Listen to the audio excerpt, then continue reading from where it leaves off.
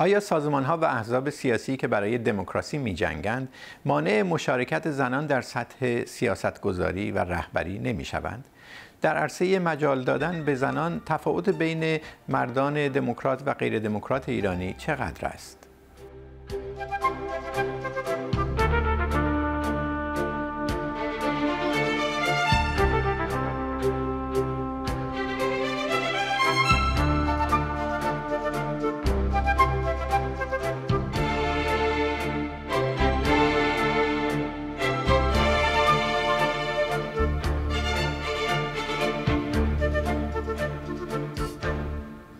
سلام.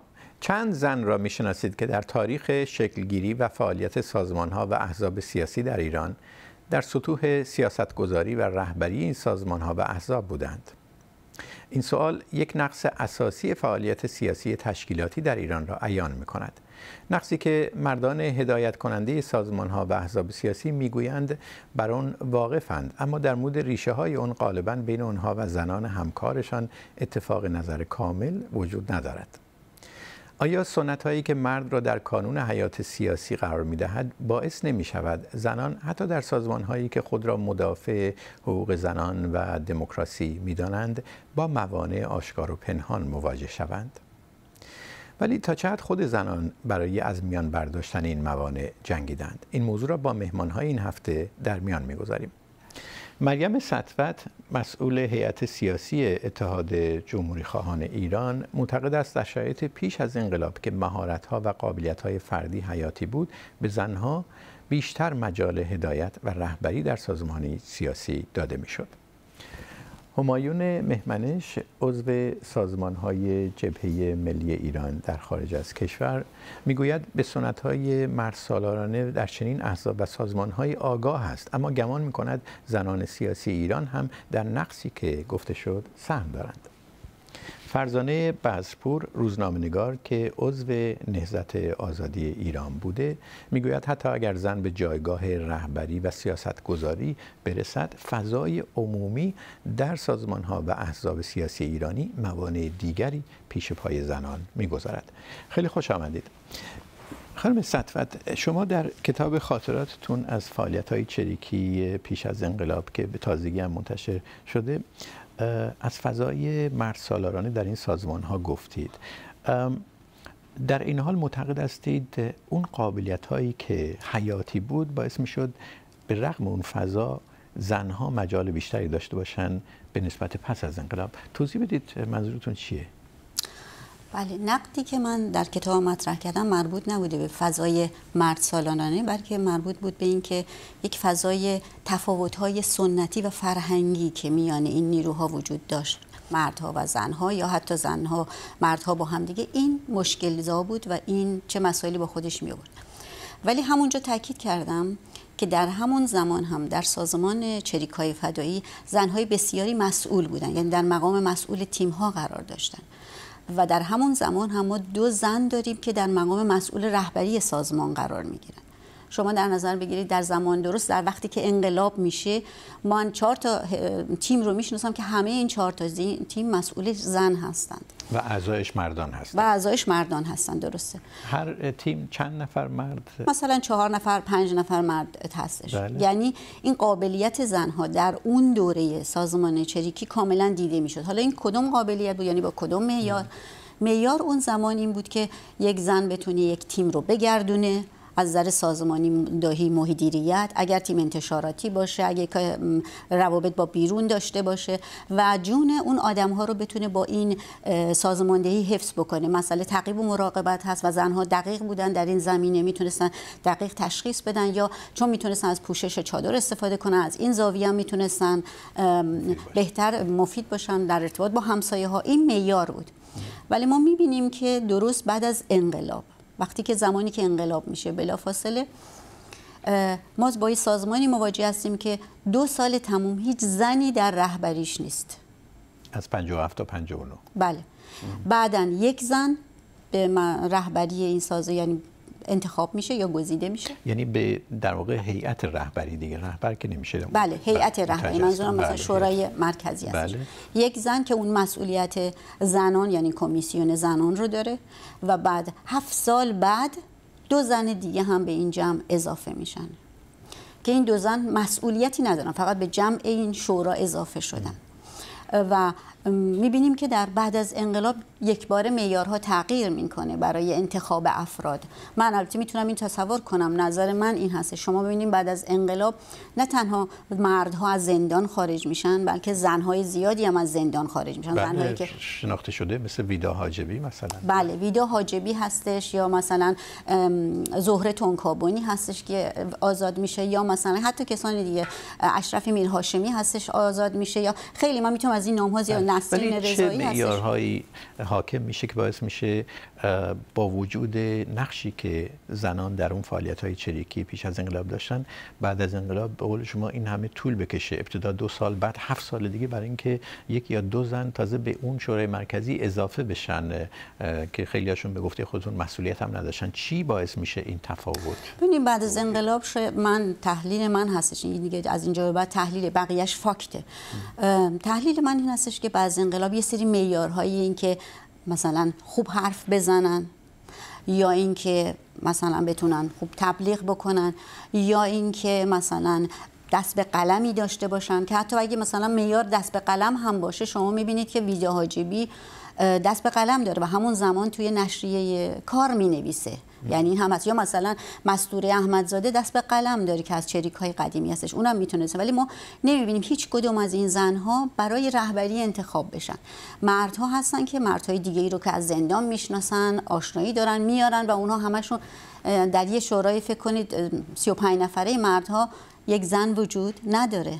اونها یه جوری پشت هم دیگر رو می‌گیرن و انتخاب میشن. ولی از زنها هیچ کسی از زنهایی که زندانی هستن زنهایی که چریک سابق هستن هیچ کدوم در ادامه چی؟ در دهه های بعد چون فضا متفاوت میشه وقتی این سازمان ها در... کوچ می‌کنن یا تبدیل میشن به خارج کشور دیگه. بله در خارج از کشور روندی به یه شکلی اتفاق میفته که اصلا این زنهایی که توی سازمان بوده اصلا سازمان می‌ذارن میرن. می‌ذارن میرن و در جاهای دیگه فعال هستن. این نیستش که فعال نیستند. همون زنها می‌ذارن میرن در این نشریه در این سایت در اون چیز می نویسن میرن در فرهنگی و اجتماعی. فرهنگی اجتماعی و سیاسی میرن فعال میشن. ولی نه با احزاب. صحبت سر اینه. در همه عرصه‌های دیگه زنها فعال هستن ولی نه با احزاب. اینجا هستش که مشکل هست. رجبین بیشتر صحبت خواهیم کرد. خانم مسپور تجربه شما چی میگه در مورد نهضت آزادی؟ کی وارد نهضت شدید با چه انگیزه و در ادامه چیکار کردید؟ خب من 19 سالم بود که آقای دکتر ابراهیم یزدی دبیر فقید نهضت آزادی پیشنهاد عضویت در نهضت رو به من داد. خب من اون موقع به خاطر اینکه گروهی رو در گروه علمی پژوهشی رو در دانشکده علوم سیاسی شهید بهشتی رو اندازی می کردم با این تصور که خب عضویت در نهضت شایبه سیاسی بودن به کار میده نپذیرفتم و آقای دکتر یزدی هم پذیرفتند. دو سال بعد مجددا پیشنهاد عضویت مطرح شد. من سه شرط گفتم بایستی محقق بشه اول اینکه فوق لیسانس گرفته باشم بعد کار پیدا کرده باشم و سومی که ازدواج کرده باشم چون مطمئن بشم همسرم با این انتخاب صد درصد موافق هست. خب یک سال بعد این اتفاقات افتاد و من دیگه بهانه ای نداشتم و به عضویت در اومدم. اما اگر همسر شما موافق نمی بود وارد نهضت آزادی نمی شدید. خب مسئله اینجا بود که بایستی پیش از اینکه من عضو باشم نسبت به این انتخاب و هزینه ها و طبعاتی که در واقع عضویت در نهضت آزادی داشت آگاه می بود. یعنی چون من می‌دونستم این در واقع انتخاب یک انتخاب صرفا عضویت در یک حزب سیاسی نیست. عضویتیه که می‌تونه طبعات با زیادی به همراه داشته باشه. چه بسا داشت؟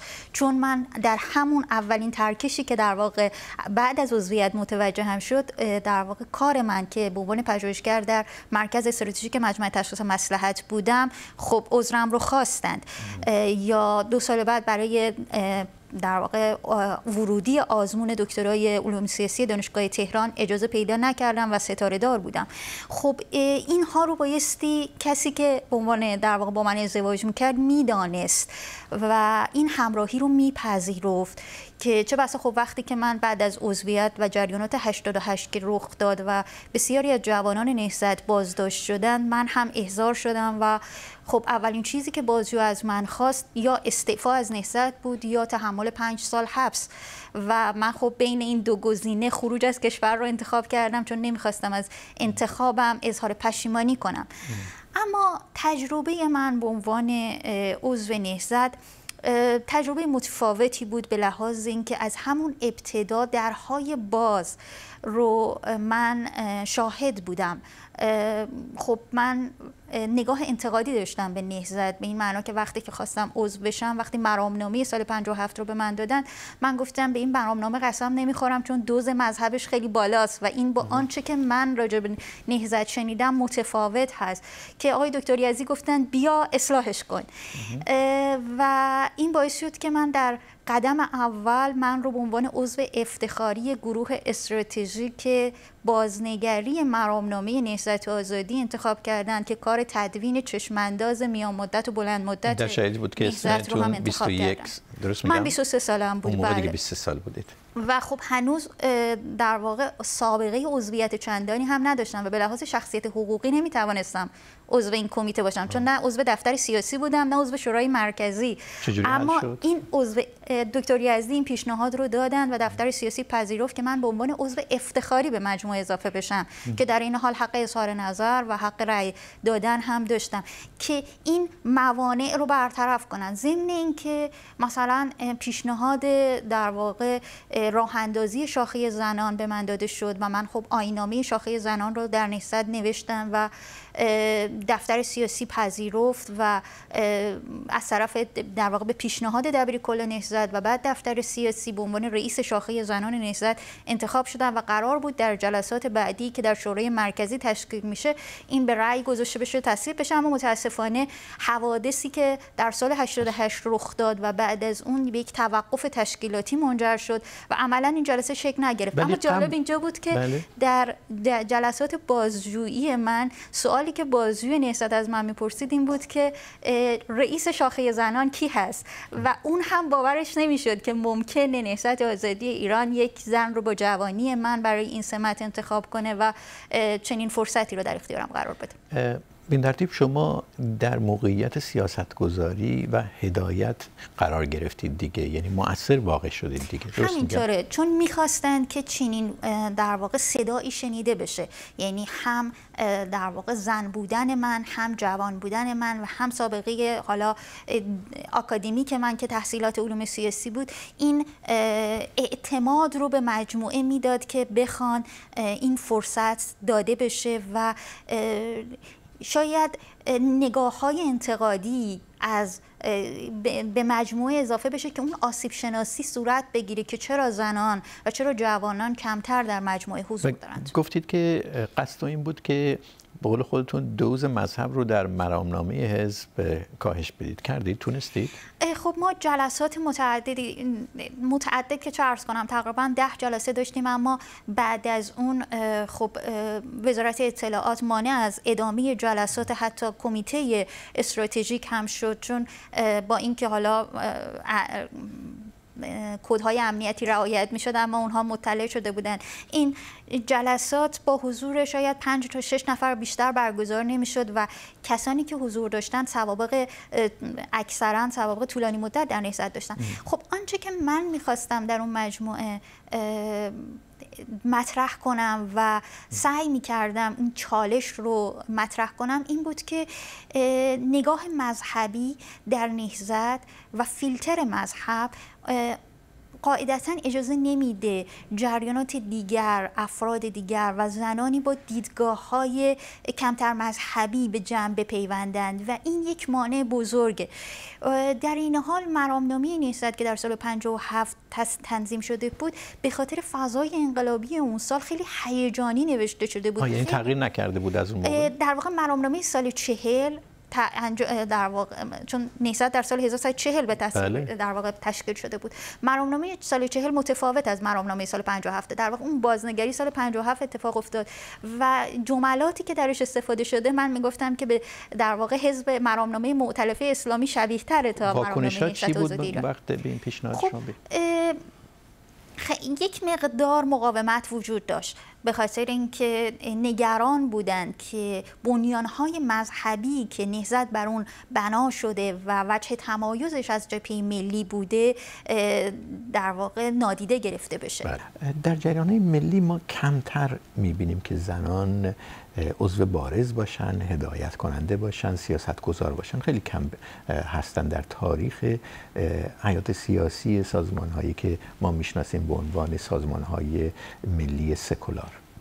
البته هستن و شما خانم پروانه فروهر رو من مثال نگاه کنید یا اینکه خانم هماد آرابی اینها نام هایی هستند که همون دوران حالت بسیار برجسته ای داشتن. اما یک نکته که هستش تو صحبت ها باید بهش اشاره کنم به نظر من اینه که اون زمینه اجتماعیه. شما ببینید در اروپا در سال هفتاد سال پیش تازه قانون تصاوی حقوق زن و مرد تصویب شد. با اعلامیه جهانی حقوق بشر. تو کشور سوئیس که کشور پیشرفته ایه سال 1971 تازه به زنان حق رأی دادن. قبلش رأی می‌گرفتن از مردا که زنان اجازه حق دادن رأی دادن دارن. اونا رد بله. و توی جوامع مختلف این یه اولین چیزی که تعیین کننده است کنتکست اجتماعی زمینه اجتماعی. الان تو خود اروپا مشکل دارن با شرکت زنان. یعنی دارن سعی می‌کنن که شرکت زنان رو بیشتر بکنن. خب این تو جوامعی که آزادی نیست و همه اصلا شما امکان فعالیت سیاسی علنی ندارین مسلما خیلی مشکله که برای افراد اصولا که بیان شرکت بکنن چه جوان ها چه خانم ها و یک مسئله هم که اضافه میشه به این که شما ما می‌بینیم که بعض وقتا که یهو یه حرکت اجتماعی به وجود میاد. مثلا چریکا یا مثلا بعد از انقلاب یه دورانی به وجود میاد که شرکت جوونا تو جریان.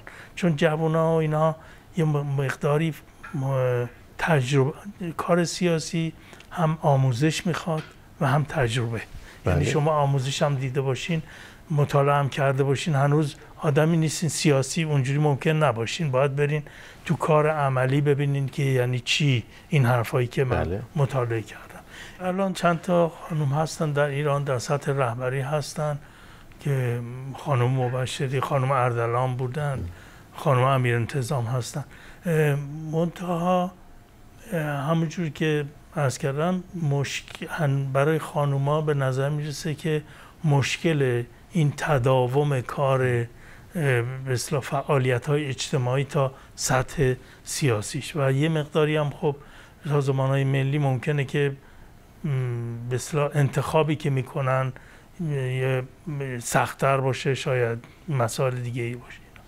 ولی در خارج از کشور منتها ما من می‌تونم اینو بگم که واقعا اگر که جایی زمینه از طرف سازمان های سیاسی مطرح باشه ما عموما هر جا که یه خانومی یه کاری رو بتونه انجام بده و همون کار رو بتونه یه مردم انجام بده تقریبا صد درصد اون خانم خواهش می‌کنیم که اون کار رو انجام بدن. ما پنج تا کنگره داشتیم. در خارج از کشور دو تاش رو خانم دکتر سمسامی به عنوان رئیس کنگره اداره می‌کردن. اینی که این تفکر الان خیلی خیلی این سازمان های سیاسی من فکر کنم در ایران و خارج کشور لازم می‌دونن که خانم ها بپیوندن و دنبال اینن همین مسئله که اینجا مطرحه که علتش چیه که کمتر جوان ها و خانم ها به فعالیت سیاسی روی میارن. همونجور که گفتم یکی از دلایلش همین مسئله سخت بودن مبارزه سیاسیه برای اینکه هر فعالیتی رو به شدت حکومت ها و چون سخت زن ها نمی‌تونن یعنی اگر این رو بپذیریم خب به نتیجه می‌رسیم که پیش از انقلاب باید تعداد زن ها خیلی کمتر از اون چیزی می بود که در جریان های چریکی می‌دیدیم. در صورتی که در چریکا و در میان مجاهدین هم کم نبودن زن نه درسته. بود زنا, زنا جوونا عاطفی ترن یعنی یه مقداری بیشتر مسائل رو از جنبه شرایطی که هستش اون که جوانای دیگه چیکار می‌کنن اینها روی این اصول میرن و این به نظر من نقش بازی می‌کنه توی این مسئله. منتها واقعیت اینه که با وجود همه اینا هنوز کاملا قابل توضیح نیست. که چرا خانم ها اینو باید گفت چرا خانم ها کمتر به مسائل سیاسی. ببینید الان تو ایران توی جنبش کارگری حتی توی فعالان جنبش زن داریم. جنبش کارگری فعالیت می‌کنن. توی جنبش محیط زیست فعالیت می‌کنن. و توی فعال توی کارهای دانشگاهی فعالیت می‌کنن. بله. منتها هنوز ظاهرا اهمیت این جریان که تشکلهای سیاسی مسئله اداری کشور مهمه و اون رو باید عوض کنیم تا اینکه بتونیم موفق بشیم تو جامعه تاثیر اساسی بذاریم. این رو بهش ظاهرا کمتر, کمتر توجه می‌کنن یا کمتر هنوز خودشون رو در این مرحله می‌بینن نمی‌دونم. خانم سطفت چنینه فکر می‌کنم آقای مهمنیش یادش باشه که یه زمانی می‌گفتن که زنها به ریاضی اهم چیز نیستن یعنی دوست ندارن. یا زمانی می‌گفتن که زنها مثلا به کارهای تکنیکی علاقه ندارن. دیگه ما از این زمان گذشتیم به خاطر اینکه تجربه اینها رو زیر رو پشت سر گذاشتیم. امروز اون چی که فکر می‌کنم بحث این جمع هم هست اینه که سهم زنها در مدیریت کجاست؟ و چرا اصلا مدیریت اینقدر اهمیت پیدا می‌کنه؟ مدیریت سازمان ها و احزاب سیاسی یعنی در رهبری سازمان ها بله. و در مدیریت حتی شرکت ها اینا هر دو یه مکانیزم دارند. یه مکانیزم یعنی توش مطرح میشه. چرا؟ برای اینکه در مدیریت این جمله ماکس وبر هست میگه چهار تا عنصر هستش که تقسیم ناعادلانش چی به وجود میاره؟ تبعیض به وجود میاره. یکیش چیه؟ ثروته. یکیش چیه؟ موقعیت اجتماعی هستش. یکیش چیه؟ اطلاعات. که اطلاعات داره اون در یک جایگاه دیگه قرار می‌گیره. دیگری قدرته. حالا مطرح میشه زنها کجا هستن در قدرت ها و در نقاط تصمیم گیری یعنی مدیریت برای این مطرح میشه. زنها وقتی در موقعیت تصمیم گیری قرار می‌گیرن اونجاست که می‌تونن رو سیاست سازمان ها تاثیر بذارن رو برنامه ریزی تاثیر بذارن. می‌تونن اونجا هستش که در انتخاب ها تاثیر می‌ذارن. اگه اونجا نباشن این مردها هستن که باز هم تصمیم می‌گیرن. یعنی فکر می‌کنید به این دلیل که در موقعیت تصمیم گیری قرار ندارن از این سازمان ها می‌برن و به قول شما جذب کارهای دیگه فعالیت های هنری اجتماعی فرهنگ ولی خود زنها چقدر تلاش می‌کنن به این موقعیت تصمیم گیری برسن برای اینکه آقای مهمنش میگه که پنج کنگره داشتن دو تاشون رو یک خانم به گفته ایشون به گفته من یک زن اومده برگزار کرده. خب در واقع منظورش اینه که وقتی فرصت باشه استقبال می‌کنن به زنها بسپارن این مسئولیت کاملا درسته. من می‌خوام بگم در قدرت بودن یه چیز فرمال نیست.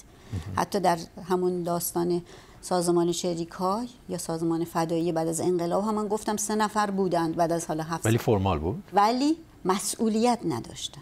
مسئولیت نکته مهمیه. یعنی اینکه شما یعنی مثلا جبهه ملی یا حالا منظورم جبهه ملی هر سازمان سیاسی چقدر این زنا رو به عنوان مسئول چیزی جلو می‌بره. یعنی میگه ایشون مسئول ما هستن در ارتباط با این چند تا سازمان ها؟ الان چهار تا سازمان هستن که مثلا جبهه ملی هم توش هستش فعالیت می‌کنه. کدوم زنها می‌تونن نماینده جبهه ملی باشن در این روابط؟ یعنی زنها رو نماینده خودش بکنه بفرسته این طرف اون طرف. به جای اینکه شما... مسئول کنگره کنن که بیشتری یعنی کاره. در جایی که بتونه نمایندگی بکنه و ما هم که خارج از اون جریان هستیم بشناسیم. مسئله جبهه ملی مسئله احزاب دیگری هم که الان در خارج از کشورم هست هست. یعنی اینو به عنوان نماینده اون زن مسئولیت منظورم اینه. بله. ما فقط زنها نباید مسئول کمیته زنان باشن. اکثرا همینه. یعنی به مثلا خانم از از پورا مطرح کردم وقتی یک تیپ خوب و فعال می‌بینن میگن کمیسیون زنان. آخه چرا؟ مشکل سازمان های سیاسی این هست که اساسا زن سیاسی نمی‌گیرند. یعنی اعضای زن سازمان ها اکثرا همسران و در بستگان. بستگان افراد هستند که به اون واسطه بتوانند و نقشی که ایفا می‌کنن نقش حمایتگر و در پایین نقش منشی و هماهنگ کننده است. زنی که چالشگر باشه زنی که فعال باشه زنی که بخواد حالا در واقع یک طرحی رو جلو ببره خیلی کم ما در سازمان های سیاسی می‌بینیم و همین هم باعث میشه که زنان وقتی که به این زنان سیاسی که با انگیزه های در واقع مشارکت در سطح مدیریتی وارد احزاب سیاسی میشن با در واقع اون پذیرش رو احساس نکنن یا احساس سرخوردگی دچار بشن در یک رقابت بی حدی با مردان قرار بگیرن و در نهایت ترجیح بدن که از اون گروه ها خارج بشن و تشکل های خودشون رو راه بندازن. چون در تشکل های زنانه دیگه در رقابت نیستن و می توانند در یک طرح و ایده رو به راحتی پیش ببرن به جای اینکه خب یک در یک چالش نفسگیر با این, با این باشن که آیا آقای فلانی با طرحشون موافقت می‌کنن یا این لفظ رقابت رو در احزاب و سازمان های سیاسی غیر ایرانی هم در همین اروپا هم زیاد می‌بینیم. خیلی از زنها میگن که در سازمان های سیاسی اونجا که به سطح رهبری و هدایت می‌رسه احساس می‌کنن مردها مدام دارن رقابت می‌کنن و این رقابت جویی باعث میشه که اونها پا پس بکشن. چه این چیزی نیست آقای مهمنش واقعا؟ به نظر من رقابت چیز ناسالمی نیست در اساس. منتها همونجوری که عرض کردم اگر که بشه یعنی به طور مصنوعی آدم بگه که مثلا خانم یه خانمی یه کاری بکنه در حالی که تواناییش نداشته باشه. این به نظر من مناسب نیست. منتها به طور واقعی زنان در خیلی موارد می‌تونن کارهایی رو انجام بدن که انجام هم میدن. و من فکر می‌کنم که باید این رو در واقع گذاشت به تشخیص خود خانوم ها که کجا می‌تونن. الان مثلا واقعا اگر که تو همین سازمانی که جبهه ملی که ما هستیم اگر که همونجوری که از کردم یه خانومی یه توانایی داشته باشه که شبیه اونم یه, یه نفر مرد داشته باشه حتما همه دلشون می‌خواد که اون خانوم کار رو انجام بده. آره ولی ولی مشکلی که من فکر می‌کنم که نقش داره اونم و ما کاملا احساسش می‌کنیم. ببینید تو افکار عمومی پخش میشه که سیاست پدر مادر نداره. سیاست کار کثیفیه. اینا همه می‌خوان رئیس بشن. نمی‌دونم هستن سازمان تلویزیون هایی که صبح تا شب در خارج از کشور علیه فعالان سیاسی و اپوزیسیون سیاسی تبلیغ می‌کنن. و علیه سیاست تشکیلاتی به اون معنی به خصوص تشکل های سیاسی. یعنی میگن اینا که اینا می‌تونن کاری بکنن فلان. مسئله همون تفکر قبیله ای رو در واقع تبلیغ می‌کنن که یعنی شما هیچ کار نکنید. افراد قبیله یه نفر میاد و همه کارا رو می‌کنه و پیش می‌بره و اینا مسائلتون رو حل می‌کنه. در نتیجه جامعه این هنوز این حالت درش به وجود میاد که خب مهم نیست. حالا یه نفر میاد بالاخره این کار می‌کنه. در صورتی که نقش خودشون رو انسان ها توی این مسئله مدیریت جامعه اون وقت نمی‌بینن فکر می‌کنید این به خصوص زنها رو تحت تاثیر قرار میده چه این تبلیغاتی؟ من فکر می‌کنم که جوان ها به طور کلی تحت تاثیر قرار میده انسان ها رو تحت تاثیر قرار میده و خانم ها مضافن این که یه سری رشته های عاطفی دارن. مثلا من در می‌تونم بگم اینجا خیلی از خانمایی که با همکاری داریم باشون آشنا هستیم یا نزدیکی داریم برای کار سیاسی اینا می‌خوان برن ایران بیان و به, به, اقوامشون سر بزنن از اونا پرستاری کنن اونا رو به اصلاح این ور کنن. یا در صورتی که و این باعث میشه که اینا خیلی باعث میشه. یعنی نخوان تو چشم باشن. دقیقا. این یه مجموعه یعنی همونجوری گفتم این همون زمینه اجتماعیه که صحبتش کرد صحبتش کردم؟ یعنی یه زمینه اجتماعی هستش که در تمام کشورها نه فقط ایران ولی به خصوص ایران با اومدن این جریان جمهوری اسلامی و این تفکر که یه امام زمانی میاد و ما ما رو نجات می‌کنه این درستی که اپوزیسیون اینا مخالفن بله. ولی توی انسان ها تاثیر این خیلی مهمه. من اگر این تاثیر می‌ذاره رو مردها هم باید تاثیر بذاره. ولی خیلی از این تعهدات میشه گفت به گفته ایشون عاطفی تعهدات خانوادگی رو مردها کمتر دارن یا خیلیاشون ندارن. من هم در تهیه این برنامه پرگار متوجه شدم که خیلی از زنهایی که باشون تماس می‌گیرم به دلیل اینکه باید به پدر مادر به بستگان سر بزنن نمی‌خوان جلو چشم باشن. این در زمینه فعالیت سیاسی هم عمل می‌کنه دیگه. بله ولی شما نگاه کنید در آن ایران. شما نمی‌تونید بگید فعالیتی که زنها دارن در ایران می‌کنن فعالیت سیاسی نیست.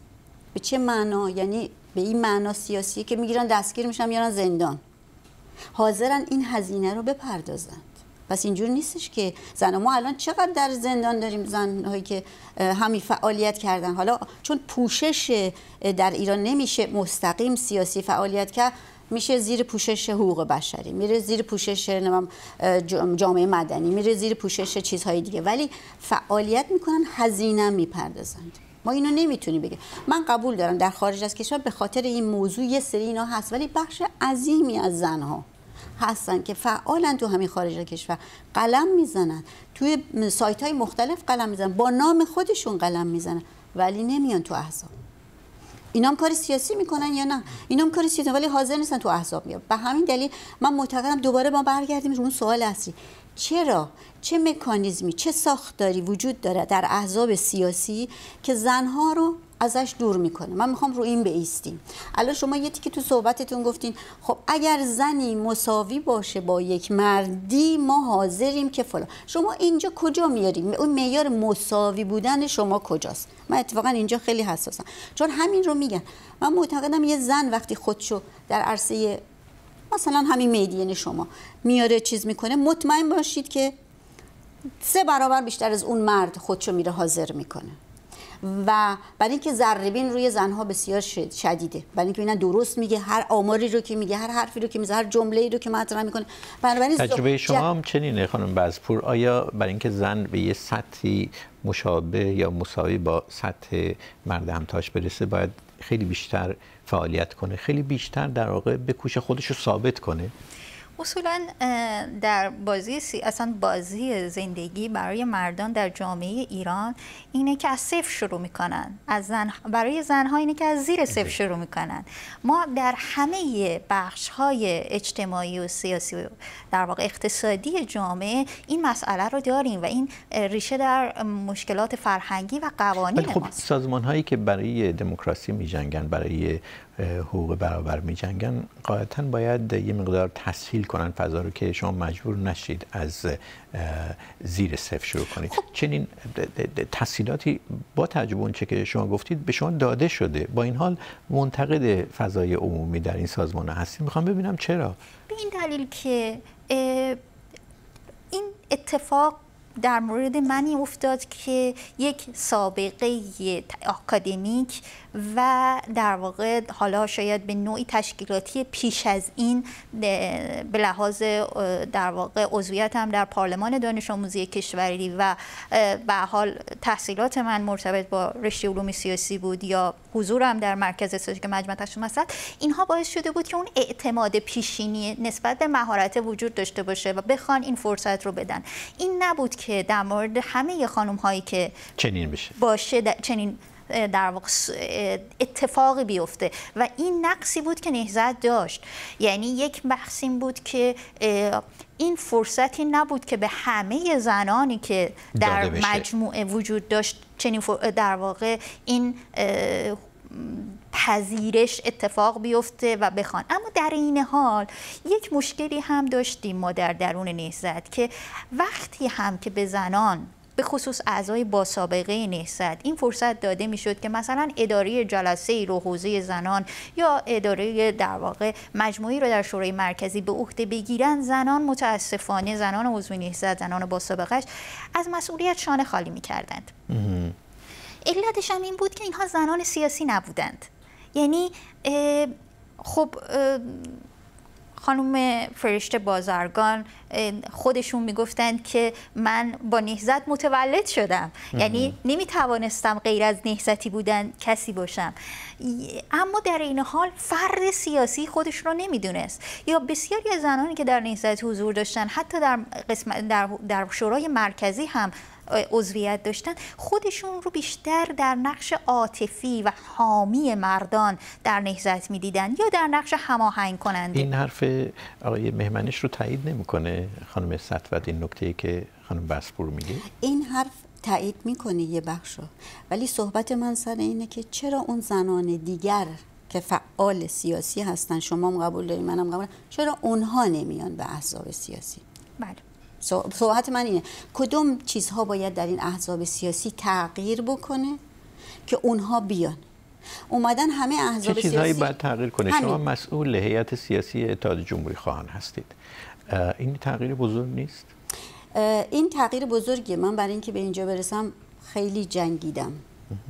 یعنی مردها مقاومت می‌کردن؟ بله مقاومت شدید. ولی ولی می‌خوام اینو بگم. ببینید در همه احزاب خارج از کشور یا در و در داخل کشور مسئله سهمی بندی پذیرفته شده یعنی چی؟ یعنی قبول دارن یه سهمی از رهبری زن باشه.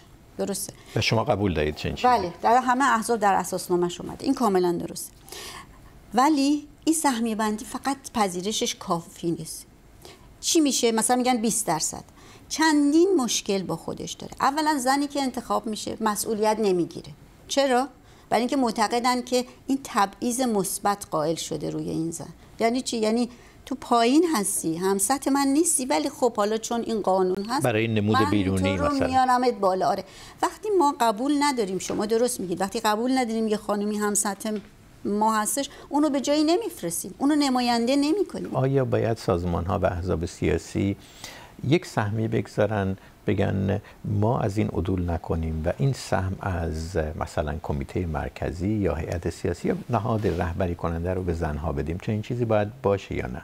بعد ببینم. به نظر من توی جوامع آزاد این ممکنه ولی تو الان تو شرایطی که ما هستیم ما واقعا هر تعداد خانم هایی که هستن به نسبت چنان کمه که ما خوشحال میشیم که یه خانومی بتونه بیاد اصلا فعالیت بکنه و کار دیگه می‌خواید بگید سهمیه چیه؟ اصلا ما اصلا اگر تعدادشو داشته باشیم بله بله خب کاملا. درسته. با وجود این ما با این روبرو هستیم که خانوم ها هستن. خیلی هم سیاسی هستن. یعنی بحث که می‌کنن و اینها دقیقا هم اطلاعات کافی دارن هم دقیقا خیلی از مطالبی که مثلا در توسط سازمان ما تهیه میشه خانم ها با دقت می‌خونن و تصحیح می‌کنن ایراد می‌گیرن هزار جور چیز می‌کنن بله. منتها وقتی که پای قبول مسئولیت و قبول کار و اینها میفته این کار رو نمی‌کنن برای اینکه ملاحظاتی دارن. از جمله اینکه مثلا می‌خوان به بستگانشون در ایران سر بزنن. مثلا این یکیشه بله و خانم بسرو ببینید من تجربه خودم در نهضت این رو نشون می‌داد که فیلتر مذهب اجازه نمی‌داد بسیاری از زنان وارد بشن. نگاه مذهبی اصولا از فقه میاد و فقیهان ما که فقه رو نوشتند باوری به حقوق زنان ندارند و وقتی ما میایم در مورد یک آداب مذهبی حرف می‌زنیم شاید در مورد مردها خیلی تفتیش عقاید مطرح باشه اگر بخوایم راجع بهشون صحبت کنیم. اما در مورد زنها مشخصش حجابه. در مورد نهزت شاید همین هم باعث شده بود که نهزت با نگرانی وارد موضوع عضوگیری از زنان بشه بله. که مبادا این چائبه به وجود بیاد که حالا حضور زنانی که هست می‌تواند حالا نمایشی باشه یا دکور باشه به خاطر همین تلاش می‌کرد کسانی رو جذب کنه که تا حد ممکن میشناسدشون و در این حال می‌تونه قابلیت قابلیت هاشون رو چون با این موضوع سهمیه برای زنان در هدایت سازمان ها به احزاب سیاسی موافقید یا نه؟ سهمیه وقتیه که شما بخواید از حقوق مساوی به حقوق به عدالت برسید. چیزی که در عدالت جنسیتی در غرب هم ما می‌بینیم که تبعیض مثبت رو شامل میشه. اما مشکل ما در ایران اینه که ما هنوز حقوق برابر رو نپذیرفتیم. ما نیاز داریم اول آموزش های پایه‌ای صورت بگیره که مردان این حقوق برابر رو در مورد زنان بپذیرند. چون اگر ما بگیم سی درصد یک مجموعه مثلا شورای مرکزیش زن باشه خب چه کسانی قرار این زنان رو انتخاب کنند؟ مردان قرار انتخاب کنند. چه تیپ آدم هایی رو این مردان انتخاب می‌کنن زنانی که کمتر چالشگرند. چون دنبال دردسر کمتری هستند. خب باز ما می‌بینیم یک تیفی وارد حالا جریان مدیریتی میشه. این بحث رو در فراکسیون های مجلس رو هم ما می‌بینیم. شما ببینید در کل مجلس های سالهای گذشته یک زن رئیس هیچ فراکسیونی نشده با اینکه 17 نفر در مجلس بزرگ داشتن. اما نتونستن ریاست حتی یک فراکسیون به دست بگیرن. حالا بگذاریم که در هیئت رئیسی مجلس هم حضور زنان بسیار کم بود و حتی در مقاطعی اصلا زنی حضور نداشت. خانم وقتی شما گفتید که زن باید بیشتر از مرد بدوه که به اون سطح مساوی برسه میدوه. آره. که بدوه. آره. آیا منظورتون اینه که قابلیت های بیشتری ازشون می‌خوان مهارت های بیشتری می‌خوان ازشون؟ آیا منظورتون اینه که بیشتر پرسجو می‌کنن که تو اینو اینو اینم بلدی یا نه؟ برای اینکه من خاطرات یکی از زنان سیاسی خانم فرزانه عظیمی از سال انقلاب و یکی دو سال بعدش رو میخوندم. برام جالب بود. می‌گفته که یا نوشته بود که وقتی گفتم من حاضرم کاری بکنم گفتن خب بیا برو تو انتشارات تایپ کن. میگه گفتم باشه. میگه که وقتی رسیدم اونجا گفتن که تو بلدی تایپ کنی. گفتم نه. گفتن خب پس نمیشه دیگه. میگه رفتم کلاس و یاد گرفتم. زود برگشتم گفتم می‌تونم تایپ کنم. گفتن خب پس بیا شروع کن. ولی بعد فهمیدم که هیچ کدوم از اون مردا وقتی شروع کردن بلد نبودن تایپ کنن. نه اونجا یاد گرفتن. یعنی منظور اینه. چی چیه منظور؟ چرا فکر می‌کنید بیشتر میدوید یا باید بدوید؟ به همون دلیلی که گفتم مسئله ذربینه یعنی روی زنها ذربین بیشتر هستش.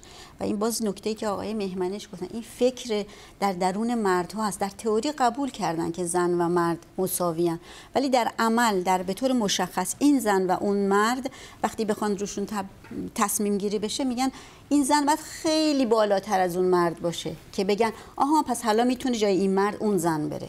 من اینو بارها و بارها آقای مهمنش تجربه کردم 50 سال عمر کار سیاسی من تو همین احزاب بوده.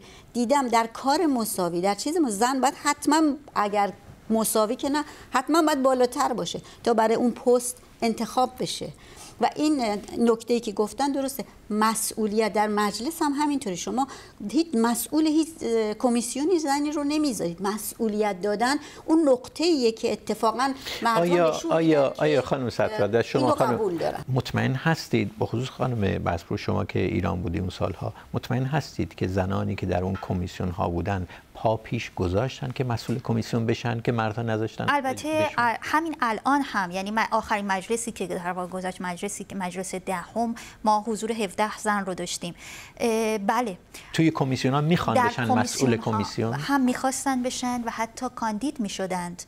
اما هیچ وقت رأی نمی گرفتند و یک جمله داریم از فکر می‌کنم یکی از نماینده های مجلس خانوم بود اگر اشتباه نکنم خانم سلحشوری یا دیگری که گفته بود که ما هر بار داریم به شما مردان رأی میدیم. در صحنه علنی گفت. چرا هیچ وقت شما به ما رأی نمی‌دید؟ بله این رو من شنیدم از ایشون. جامعه ایران یه جامعه مرد سالاره و همون آدمایی که میان بحث سیاسی می‌کنن و حالا تو خارج کشور کم. اینو من واقعا ندیدم. ولی تو ایران شنیدم که مثلا گروه هایی که حتی جب ملی هم کمتر ولی از اونهای دیگه که خیلی بحث سیاسی در مورد زنان و حقوقشون رو اینا می‌کنن ولی همون بغلش مثلا خانومشون داره ظرفا رو میشوره و چیز می‌کنه همه کار رو به عهده داره و این پاشو انداخته رو پاش و اصلا محل نمی‌ذاره.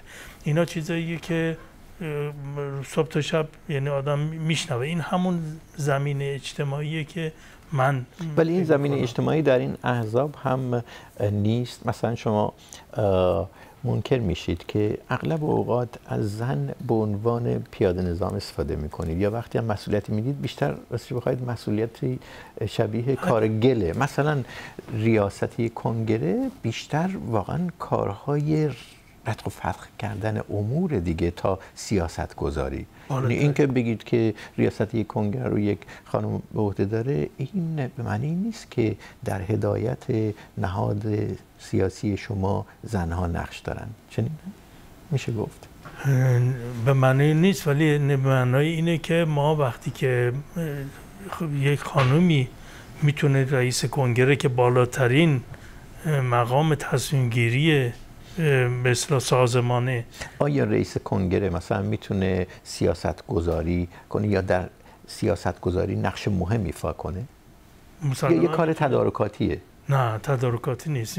رئیس کنگره در واقع شخصیتیه مورد قبول همه مورد اعتماد همه که روش همه توافق دارن خب. و این می‌تونه روال کنگره رو که تصمیم گیریه و پیشبرد اموره تغییر بده. به روش تاثیر بذاره. اینه که به هیچ وجه یعنی مثلا رئیس مقام مقام نمی‌دونم. یعنی مثلا می‌تونه اسنادی رو از دستور کار کنگره کلا کنار بگذاره می‌تونه واقعا می‌تونه کمک کنه که چیزایی کنار گذاشته بشه. به هر حال بالاترین مقامیه که توی اون کنگره وجود داره و تعیین می‌کنه.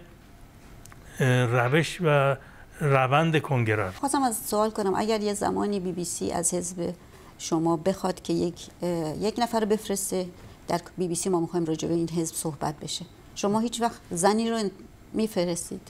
اگر ما با خانوما رجوع می‌کنیم اگر که اینا آمادگی داشته باشن صد درصد میفرستیم. اصلا حرف درش نیست.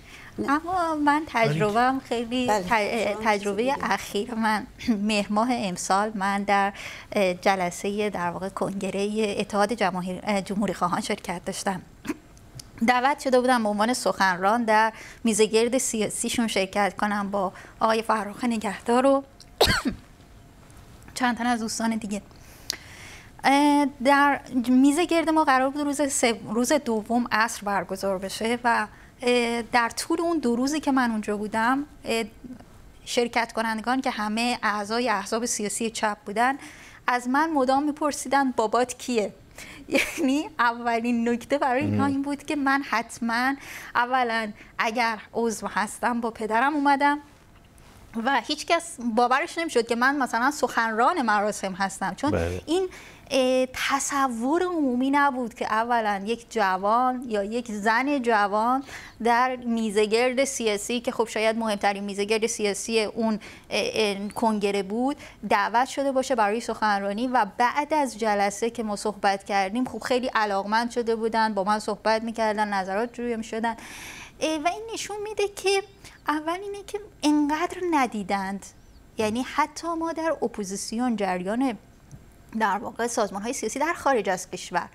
حضور زنان اونقدر محدوده که اگر یک زنی در حتی یک اجلاسی شرکت داشته باشه خیلی سریع برجسته میشه چون کس دیگری مشابهش نیست.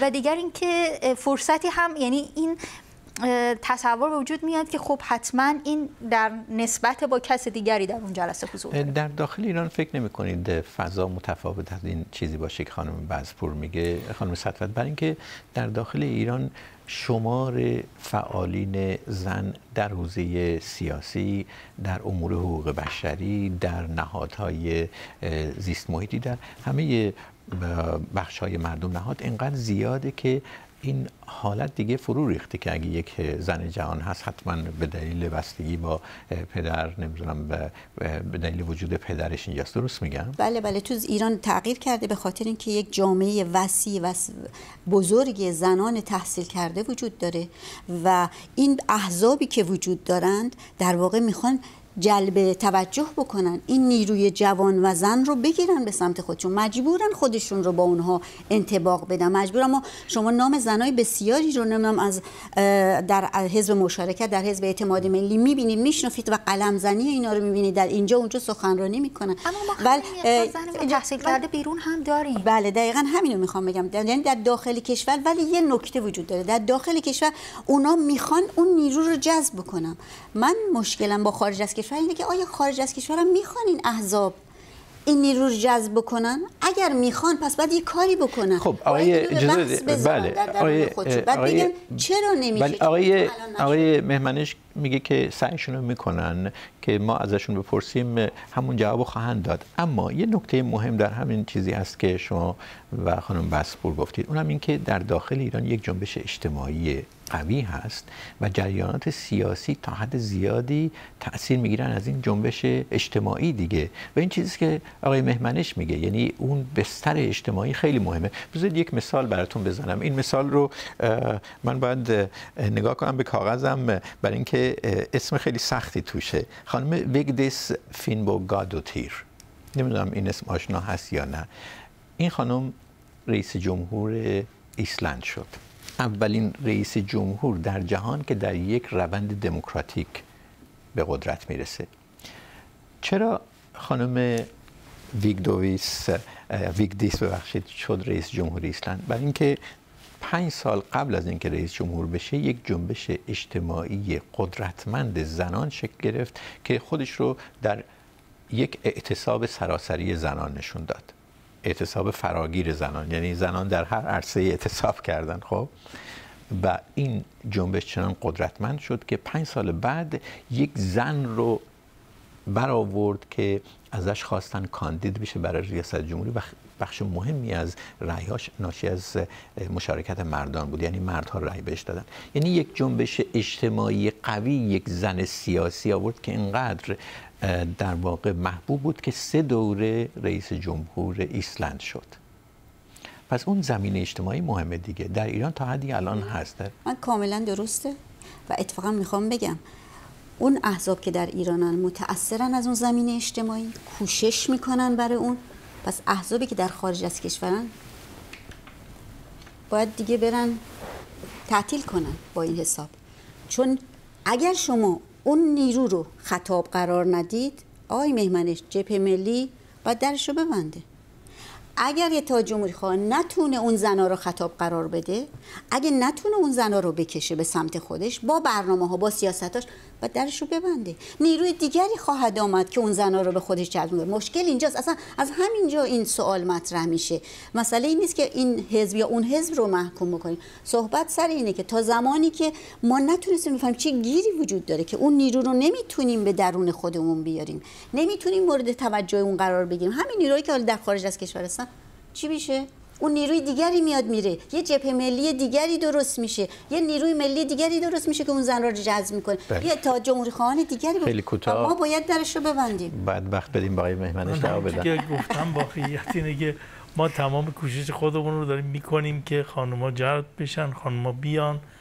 و من تعجب می‌کنم که شما برات فکر می‌کنید که ما مثلا عامل اون هستیم. نه من اسم تا جمهوری خواهانم گفتم برای که شما چیز ولی آقای, آقای مهمنش کوشش یک لفظ خیلی کلیه که چیزی به ما نمیگه. یعنی شما ممکنه کوشش بکنید اما نهاد شما ممکنه سیاست های نافذ سیاست های هوشمندانه و مجموعه شرایط دیگر رو نداشته باشه که این موجی که خانم سطفت میگه رو جذب کنه. این کوشش به تنهایی یعنی چی؟ شما برید بگید خانم بیاین جلو. خب ممکنه به دلیلی که خودتون گفتید نیان جلو. کوشش یعنی این؟